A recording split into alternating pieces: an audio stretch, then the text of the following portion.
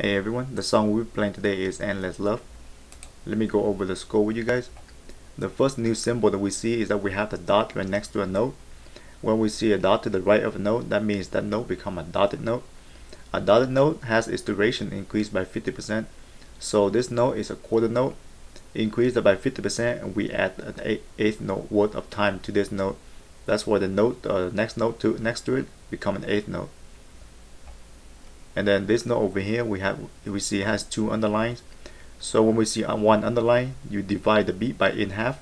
So that's why these two notes right here uh, so this whole thing is a beat. It become eighth note and an eighth eighth note. But uh, when you go to the second beat you see that over here we have a, a dot right here. That means increase the duration of this eighth note in by half. So this is an eighth note worth and a 16 note worth of time.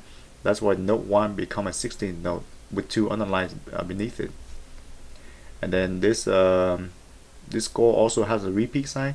So we play all the way to this sign right here. Repeat it back from beginning. When we play through the second time we can play all the way to the end of the song. Alright let me demonstrate